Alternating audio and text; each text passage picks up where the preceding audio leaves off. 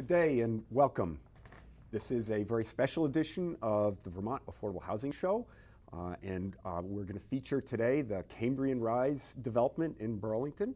Uh, with me, I have some uh, very special guests. To my immediate um, right is Amy Demetrowitz, uh, who's the Director of uh, Real Estate Development at the Champlain Housing Trust. Eric Farrell, President of Farrell Real Estate. Cindy Reid, who is the Director of Development for Cathedral Square Corporation and Gil Livingston, president of the Vermont Land Trust, uh, all of whom are partners in the Cambrian Rise uh, development in Burlington at the uh, former Burlington uh, College site on North Avenue. Uh, before we get to uh, our interview and to talking about Cambrian Rise, I just wanted to make a couple quick announcements since this is our Vermont Affordable Housing Show. We have some very special celebrations that are coming up in the housing world. Uh, the 30th anniversary of the Vermont Housing and Conservation Board is happening uh, next Tuesday, September 19th at uh, Shelburne Farms. I'm sure I'm going to see some of you folks there. Uh, and then also on the same day, earlier in the day, the Housing Trust of Rutland County, one of our uh, pre premier uh, members in Rutland County, um, is celebrating their 25th anniversary. Um, Cindy in Cathedral Square is um, celebrating their 40th on September 21st at the Sheraton in, in Burlington. We'll be at that as well. And then um, finally, the Vermont Community Loan Fund, another member of our coalition, is celebrating its 30th anniversary on October 12th, also in Shelburne Farm. So just wanted to get that out there uh, for folks in the housing world. This is uh, a couple of really important weeks of celebrations of major institutions uh, that have promoted and funded affordable housing uh, and built affordable housing in uh, Vermont over the last uh, 30 years. Um, so with that um, lead in and introduction, um, I was going to uh, first turn to Eric, um, who is the, um, again, the president of Farrell Real Estate, um, which is the primary developer and owner of Cambrian Rise on the former Burlington College site is, I believe, the single largest development in Burlington in many years, if, if perhaps uh, ever, and has um, a major uh, both affordable housing component um, as well as um, it has a major um, land, uh, public land dedication component as well. So, um, Eric, if you could maybe give us an overview of um, what you have planned, and then we'll go to our uh, nonprofit friends to talk about their, their partnership with you. Okay, I'll start with a little bit of history. I'll try and condense four years into a couple of minutes. Um, and technically, the, most of the land is owned by a partnership, uh, BC Community Housing, which we formed four years ago. So Burlington College at the time reached out, uh, sent an RFP out, uh, looking for a co-developer uh, of their site. They wanted to uh, sell half the site off and keep the other half and expand their campus. Pretty aggressive plan on their part. We were selected after they interviewed five or six uh, local developers. Um, and almost from the beginning, uh, their finances uh, started to unravel, and it became apparent that they were not going to be able to fulfill their half of the development deal. Um, and so it, it culminated uh, in us uh, purchasing um, uh, we purchased uh, 27 of their 34 acres, mm-hmm. 28 of their 34 acres, uh, which allowed them to pay significantly down on their debt. Uh, and then they were going to keep six acres and continue the college on a smaller parcel of land, and we were going to develop the rest. Um, so we purchased that land in 2015. Almost immediately, we uh, Gil from Vermont Land Trust reached out, asked us to engage with them and the city and Champlain Housing Trust in a conversation about what the appropriate uh, level of development might be for that parcel before we uh, uh, deep dived into uh, design and permitting process. So we did that for quite a few months, and that culminated in a development agreement that we executed uh, in January of 2016. And uh, the big pieces of that development agreement were that we would sell uh, 12 acres of the land, all of the border on the south and the west, and including Texaco Beach to the city, uh, which means we had to forego the opportunity to build 24 single family homes, which was part of our original plan. And the college was going to keep their six acres, and then uh, we would build multifamily on the remaining on the remaining land.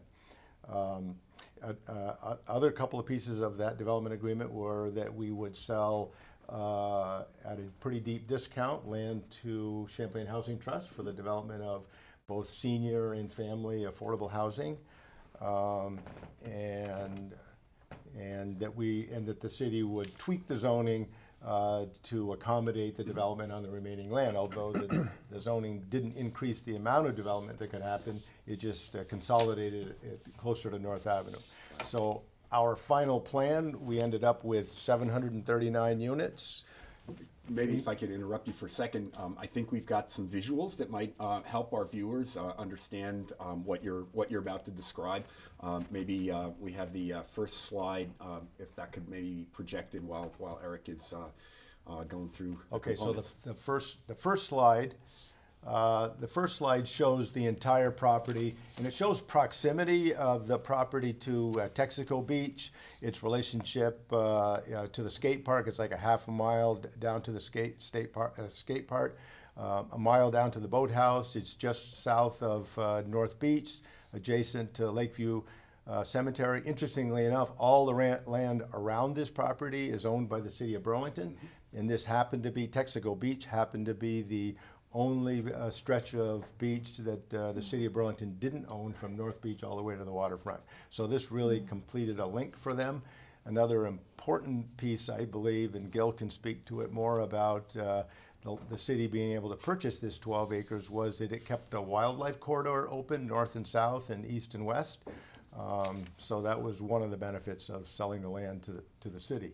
Uh, so our final development plan on the next slide, the site plan, uh, depicts uh, about 14 buildings in, that uh, uh, encompasses 739 housing units, no single-family uh, lots.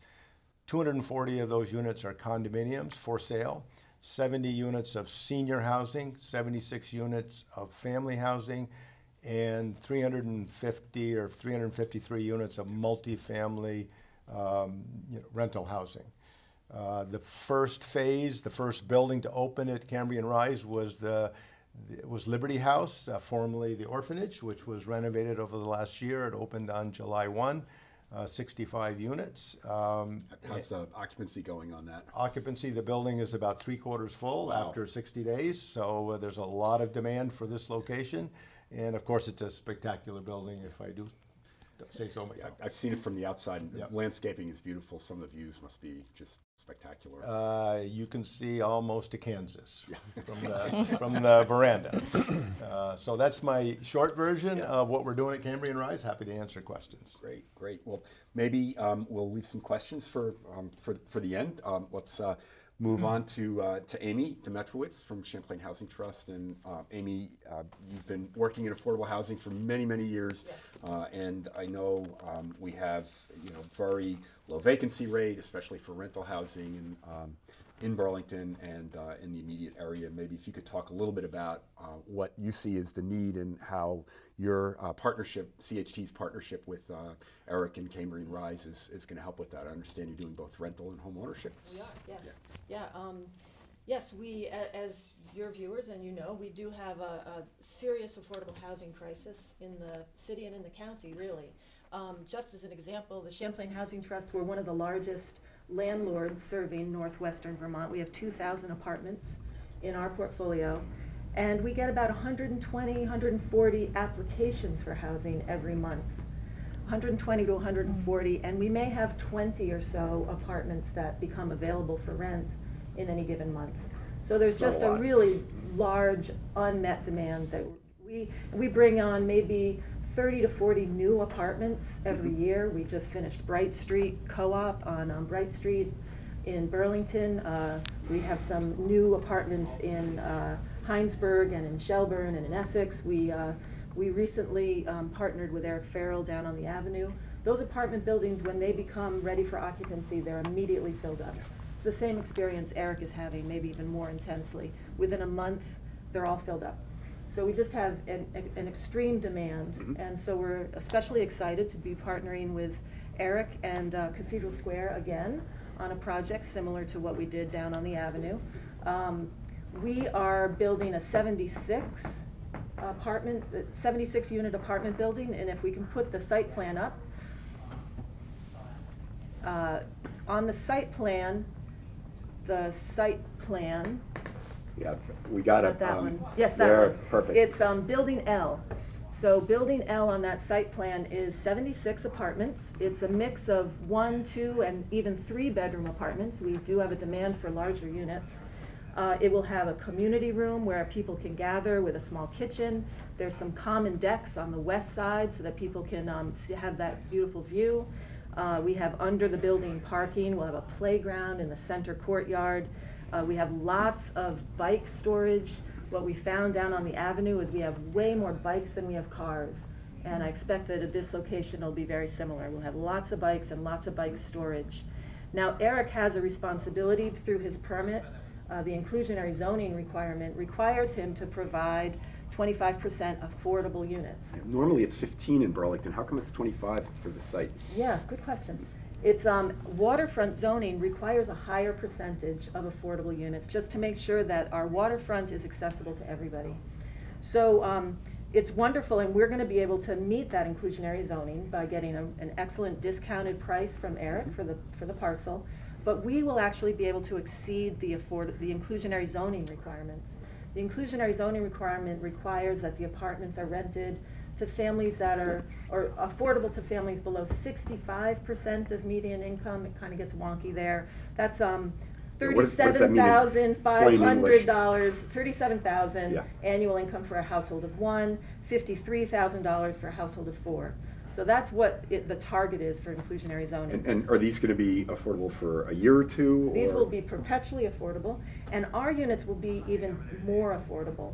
Eighteen percent of the apartments, that's um, fourteen apartments, will be specifically set aside for homeless families. Wow. Uh, we're working with the Burlington Housing Authority Mhm. to provide support services for those Mhm, families so mhm. that they can maintain their housing once they get in.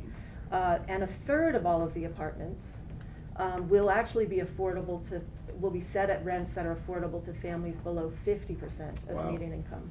And then we do have some that are on the higher end Mhm. range. So we'll have a range of incomes within this building, um, which will help to make the whole neighborhood, um, a much more diverse, economically diverse neighborhood And inclusive. and inclusive. We're gonna be providing housing with Eric and with um, Cathedral Square.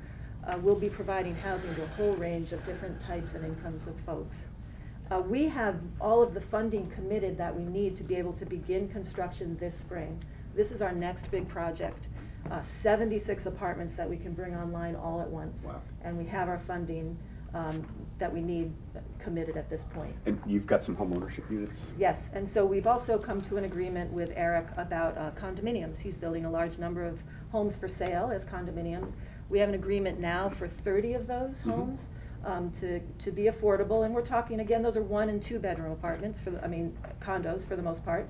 Uh, Our, our sales price will be one hundred and sixty, one hundred and seventy thousand. Wow. And again, those will be perpetually affordable with our, our uh, shared equity program of the Land Trust. We have five hundred and fifty homes in our program that have that perpetual affordability through shared equity, and we will be doing that here as well. So we have an agreement for thirty now, and we expect there will be a second phase with another thirty, so we'll have sixty total. Wow. Affordable homes for sale. Yeah, that, that price point is Yeah. pretty hard to beat in uh, And it'll be, Chittenden and County. it and really is a stunning location. Well, thank you, uh, thank you, Amy. Um, Yeah. Just uh, as a, a side note, in terms of the need for affordable housing in Chittenden County, I uh, went back to the most recent uh, state study um, that uh, looked at how many units are needed, how many households are expected in Chittenden County, and um, the state study said that 2,375 new households were expected uh, to be formed in Chittenden County by 2020. So, you know, this is absolutely, I mean, some folks may doubt whether or not we need this many units, but um, the, the experts and the studies that the state of Vermont has done have uh, quite clearly shown us that Chittenden County still, um, in spite of the, the boomlet that we have of, of building, um, really, we need a lot more housing in Chittenden County to, um, to accommodate all that. Um, and we especially have a need in, for senior housing. Cindy, maybe you could talk a little bit about what Cathedral Square is seeing and, you know, kind of how many units um, you have available every, every month. I know it's not many, and, and how um, Cathedral Square is going to help make more senior Great. housing available Yeah, thank here. you, Erhard. Um, So, yeah, w- first I want to say that senior housing was not a permit requirement at Cambrian Rise, and we're really thrilled that Eric envisioned including senior housing in Cambrian Rise, and that it's a lot of part, powerful partnerships happening here. With the city and Vermont Land Trust and Eric and um, Champlain Housing Trust. So Cathedral Square's building is Building K on the uh, site plan showed earlier, right next to um, Champlain Housing Trust, right on North Avenue, right next to the bus stop, which is great because access to transportation is really critical for our uh, for our community of seniors. Um, we have Cathedral Square has about 900 apartments um, in Northwest Vermont. We have over 800 people on our wait list. Um, huge demand, and as we know, the senior population is growing rapidly. It's the fastest growing demographic. In fact, in the next 20 years, the number of adults aged 65 and older will double. And many people do not want institutional care. They want to live in the community, they want the support services they need. So um, at Cambrian Rise, our building is called Juniper House, which we named after Juniper Island in the lake to, to go with the motif. Um, and um, it will have 70 apartments, both one and two bedroom. Uh, the rents will serve a variety of incomes, so they're staggered rents, um, similar to the CHT building. About half of our units will serve people below 50% of uh, median income, which is about 28,000 um, annual income a year. And about 14 units we will um, uh, prioritize for homeless and at risk of homeless seniors. So we have a robust service program through SASH, which will help those folks achieve what does that stand stability. for? SASH is support and services at home. It's a pilot that Cathedral Square piloted and is now statewide, serving over 5,000 people around the state. It's a care coordination program to help people live at home independently with this, the care support they need. So some people refer to the growing senior demographic as the silver tsunami, but we really reject that term because it's a negative connotation. And we're really about positive aging and um, about wellness and action, activity. So um, this that building, part of that that's yeah, that's a really negative. Um, and aging, we embrace as a positive thing. Our seniors are wi- wise people. They have wealth of experience. Um, retirees that have a lot to give their communities. So we try to channel that and nurture um, positive aging in our community. So at Juniper House, our design includes a large community room with a kitchen, an exercise room for things like Tai Chi, chair yoga. Those programs are part of support and services at home and help um, promote balance and strength to help reduce falls, reduce hospitalizations, and save on healthcare costs, and just increase people's sense of well being. We also have walking programs. So, Juniper House will have a lot of those wellness um, in the design, and we have a wellness nurse on staff and um, a wellness nurse office with a conference room for private consultations. Uh, we have garden space outside. We're right next to the community gardens as well with the 12 acres of preserved land, which is a huge benefit to this whole community. Um, and then there's a lot of connection built in between the Cathedral Square building and Champlain Housing Trust and the rest of Cambrian Rise with a sitting area, another playground, opportunities for, for our seniors to, to hang out with the younger people in the community. It's very pedestrian friendly because, as we know, the parking is un- a lot of it is underground. Lots of safe sidewalks to uh, wheel on or walk on.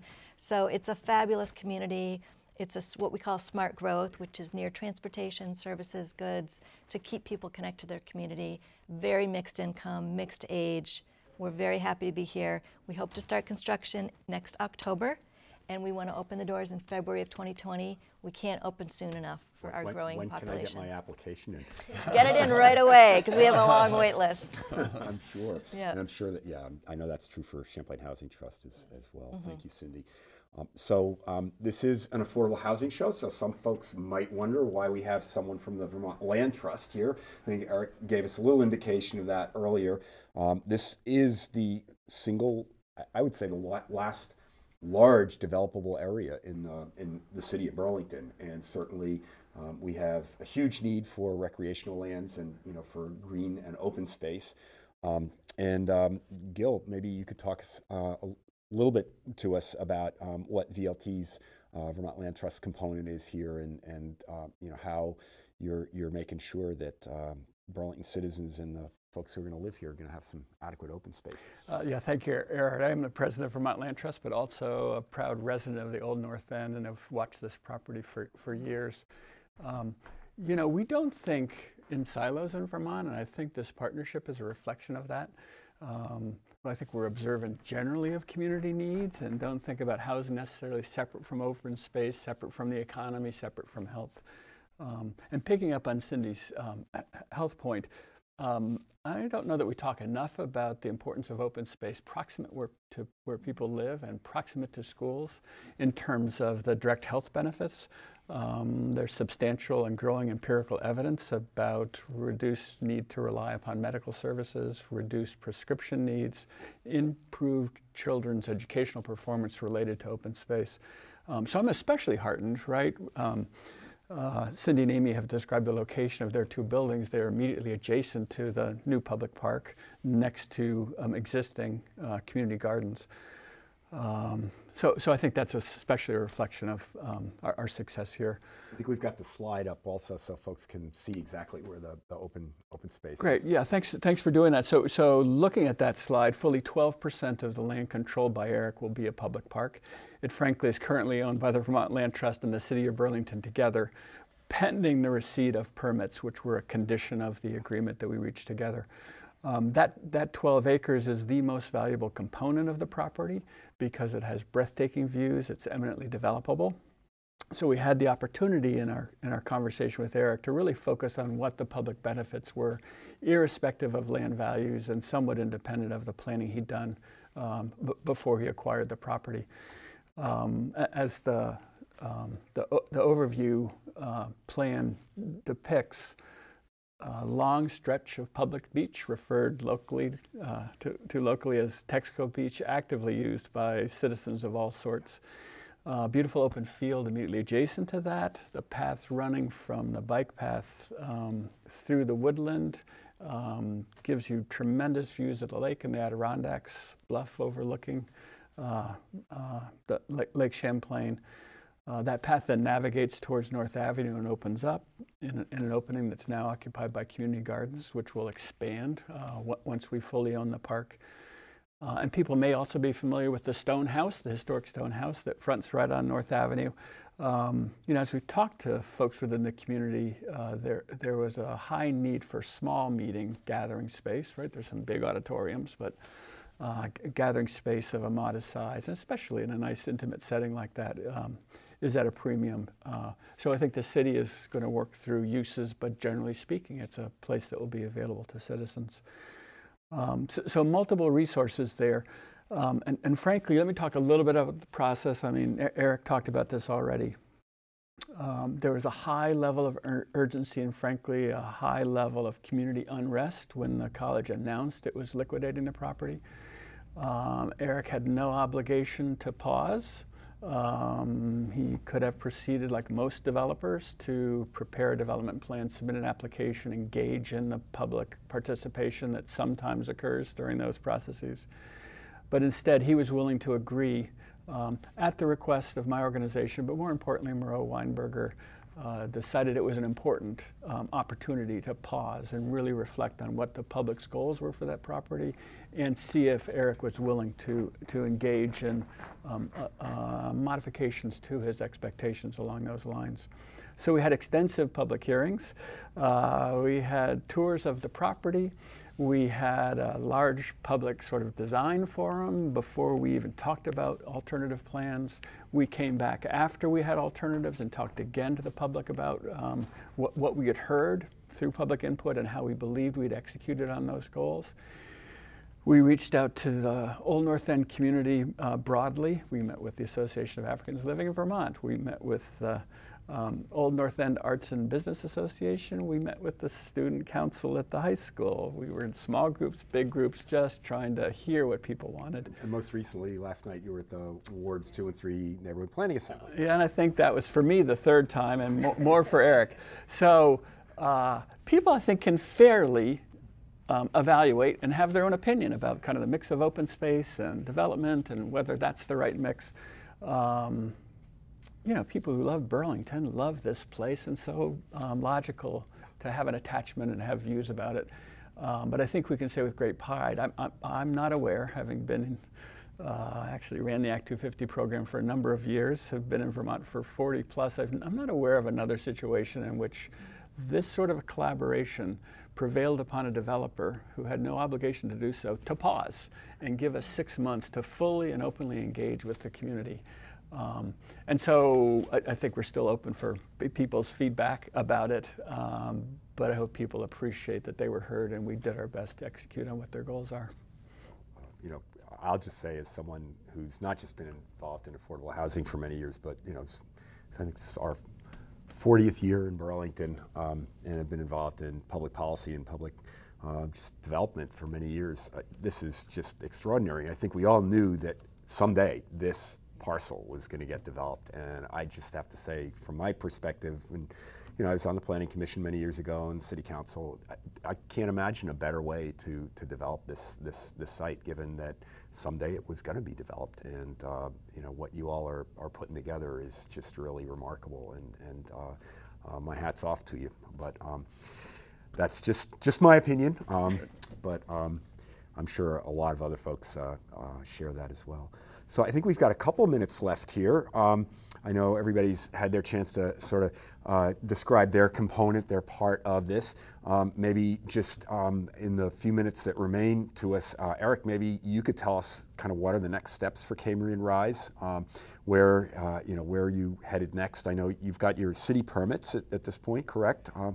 Or, or not. Maybe um, I'm not in, as well informed. Tell no, us where you are. We have all of our local permits. We have all of our underlying state permits, yeah. stormwater and, and what have you. Um, we have an Act 250 hearing next Wednesday, the 20th. Next Wednesday. And that's our last that's stop, assuming that it's uh, yeah. that it gets completed in one hearing.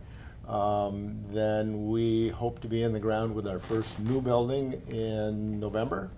That will be a mm-hmm. rental building. Uh, and we hope to start our first new condominium building, of which we made a, uh, a deal with CHT to buy 30 of 97 units in the fall. Uh, spring, excuse me, spring of next year, at the, around the same time that CHT breaks ground on their building. So the first building, like I said earlier, the orphanage is open, mm-hmm. and but we're uh, anxious to get going on new construction in city streets and all the amenities that will be Yeah, you got a lot of site work to. We got a lot of site work to do. We got a lot of work. How, how long um, are, uh, is the uh, development process going to take once you get going? Um, You're going to do this over a number of years, it's phased. Well, I best right? guess, it'll take six to eight years to build out. Wow. That's, that's, a- while, but we've got some affordable units that are going to be coming on fairly soon. And Cindy, you mentioned when, um, maybe you could just say again when? when sure. We, we have some of our funding. We have a number of funding applications in and ready to be submitted. Uh, so we hope to start construction October next year. And um, we also will have some market units within our building, so we'll have a real range of affordability within the senior building to serve all kinds of incomes. So, and we're hoping to open our building in February of 2020, but it'd be great if we could do it sooner because we know the need is huge. And we'll likely be open uh, spring of 2019 if we get in the, in the ground this spring, about a year. The need, the need is certainly great. One of the other things I looked up uh, before I came was uh, that we have in Chittenden County over half of our renters are cost burden, meaning they're paying too much for um, for their rent. So certainly can't wait till we get more affordable housing. And um, this is the land that you um, have negotiated, Gil, is, I think it's been mentioned before, but I think it, it really bears emphasizing. It's like the last piece. Uh, so public land will stretch from Perkins Pier uh, all the way up to uh, Rock Point, basically. Exactly. Um, this is the last remaining piece, and exactly. I, I just think that's an incredible achievement right there. Yeah, well, thank you. Well, um, $2 million is the negotiated purchase price. We've purchased it at that number. It's a significant discount, less than the appraised fair market value. We've miraculously raised almost all of that money. Um, so, frankly, I think we're ready to transfer my organization's interest to the city and for there to be a park dedication wow. as soon as Eric has his permits. Wow. And uh, I assume that, um, well, I know that a lot of the housing is going to be funded by the Vermont Housing Conservation Board. I kind of assume that uh, VHCB, um, celebrating its 30th anniversary next yeah. week, has got money in, in yeah. the park as well. And not to make it all about anniversaries, but on October 1st, my organization I'm celebrates sorry. its 40th anniversary. Yeah. But I, I totally uh, missed that one. Sorry. the Housing Conservation Board was a significant, generous funder in two stages. In addition, the city foresightedly, going back seven, eight years ago, created an open space legacy fund, which is for open space park purchases. And so there was a city commitment of a half a million dollars. Um, and the rest of it has been private fundraising and a federal grant. Yeah. Well, great. Um, I think uh, I'm getting getting the hook. Uh, we're uh, close to the end of the show. I just want to say thanks to each of you, not just for being on the show, but for the incredible work that you're doing. And uh, definitely, my hats off to, to you, Eric, for the incredible, uh, the responsible way that um, that you're you're developing this. Not every private sector developer would have would have Well, I was this. so- born and raised here, so this is my community. I know you used to live on Brooks Avenue. I remember it well. uh, you were my constituent, whether you liked it or not, right? I might have even voted for you. Well, you never know. We don't know that. I remember, I remember the sign you had out front, though, and it wasn't mine. Sorry about that. no, that's okay. That's That's okay. all right. I love you now. You know, things, things, things come in full circle here in Vermont. So, anyway, thanks to all of you, and uh, thanks to our viewers for uh, for tuning in. Uh, this has been the Vermont Affordable Housing Show. There will be some um, resources, some web resources for each of these organizations, and for the Cambrian Rise development on screen um, as as we end. And our next show, our next regularly scheduled show, will be uh, Wednesday, October fourth. That's going to be a live at 5:25 show. Hope you get a chance to tune in. Thank you very much.